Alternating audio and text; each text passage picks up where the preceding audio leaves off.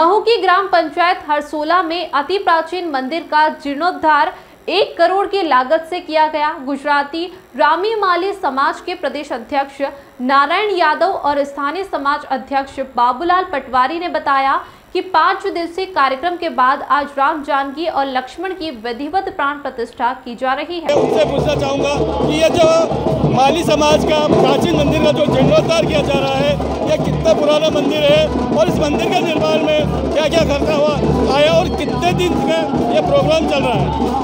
आज करीबन तीन सौ साल पुराना है और आज ग्यारह वर्ष ग्यारह वर्ष से मंदिर का काम चल रहा है। माली समाज का है।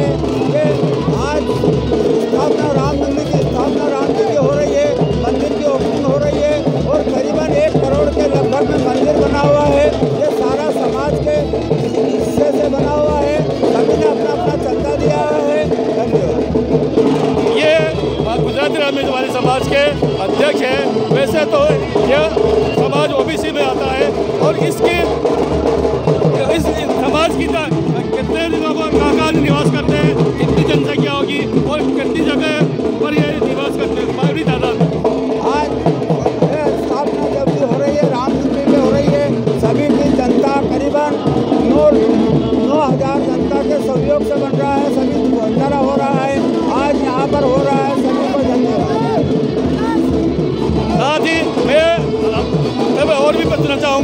जैसे समाज के बहुत से लोग हैं, इनसे मैं पूछना चाहूँगा पूछना चाहूँगा कि ये आज प्रोग्राम कितने दिन से चल रहा है? सभी देशवासियों को रामनवमी की हार्दिक हार्दिक शुभकामना ये हमारे गाँव में पाँच दिवसीय यज्ञ का आयोजन किया गया था, श्री गुजराती रामी माली समाज द्वारा। और इसमें सत्रह जोड़े हवन पर बैठे थे और जो मंदिर की, जो मंदिर दिख रहा है, उसकी लगभग लगभग पंचानवे लाख रुपए लागत से श्री राम मंदिर बना है। ये थे आपका नाम बताएँ। सुनील सोलंकी ये सुनील सोलंकी जी थे जो माली समाज के बारे में बता रहे थे साथ ही में समाज के ही कुछ और लोगों से भी पूछना चाहूँगा कि यह प्रोग्राम कितने दिन से चल रहा है और इस प्रोग्राम में के- के- कौन कौन समाज ने भाग लिया कहाँ कहाँ से लोग आए हैं और इस मा- मंदिर के जीर्णोद्धार में कितना खर्चा आया है ये। सब ये करीब पाँच दिन से पंचकुंडी आपके महायज्ञ चल रहा है और हमारे इक्यासी गाँव के समस्त हमारे गुजराती राम हमारे समाज के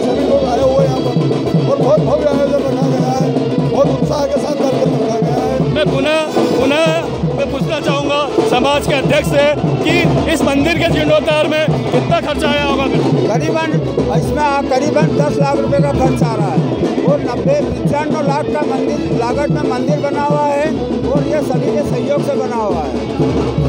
मैं सभी से जानना चाहूँगा क्योंकि समाज के समाज के बहुत से करीब करीब बिजलपुर अब मैं गुजराती रामी माली समाज के प्रदेश अध्यक्ष नारायण जाधव ने समाज की अनेक गतिविधियों के बारे में जानकारी देते हुए आने वाले विधानसभा चुनाव में भी समाज की भागीदारी के लिए बड़ी बात के साथ ही मालवा अंचल के पूर्व गुजराती रामी माली समाज के अध्यक्ष विनोद मकवाना ने भी अपने विचार बताए।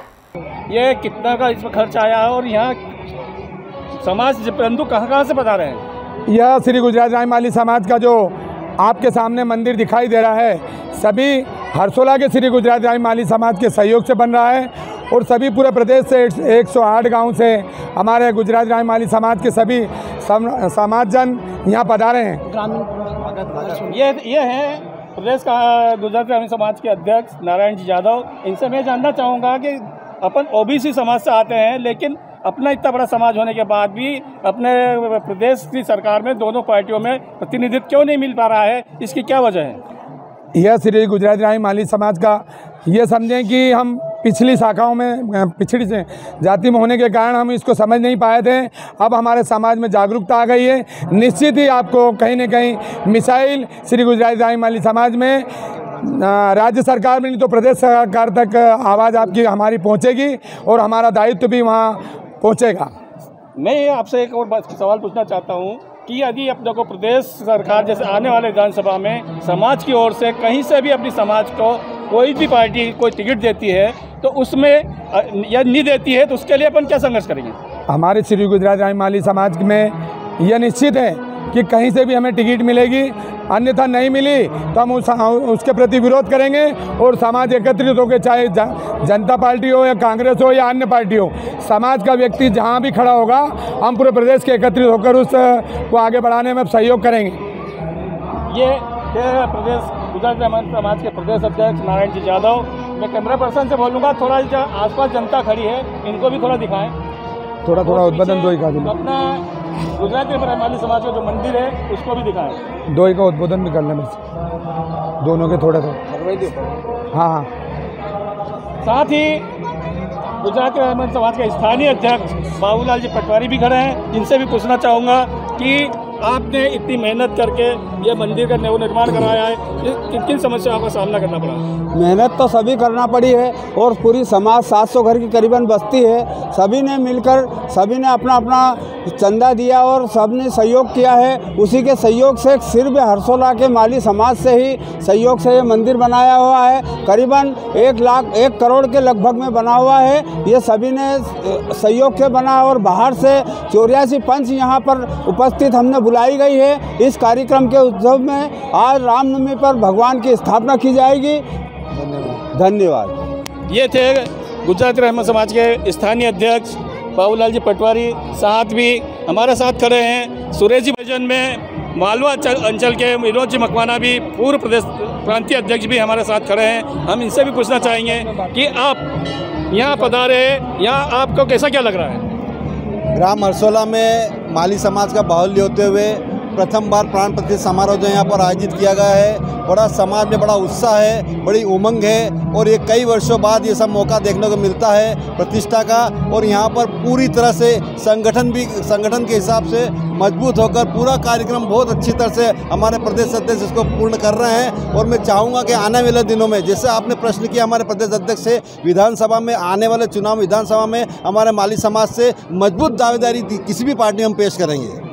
ये थे पूर्व प्रांतीय अध्यक्ष विनोद जी मकवाना जी। इन्होंने अपनी राय रखी। साथ ही एक और मैं किस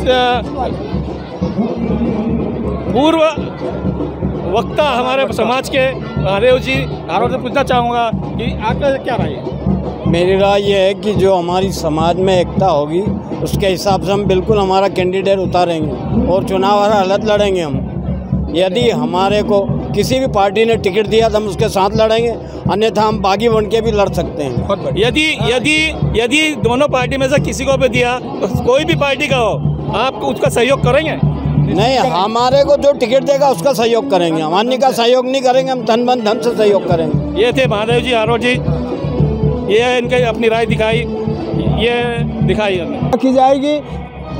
धन्यवाद। ये थे गुजरात रहमत समाज के स्थानीय अध्यक्ष बाबूलाल जी पटवारी साथ भी हमारे साथ खड़े हैं। सुरेश जी बारोड़ उनसे पूछना चाहूँगा।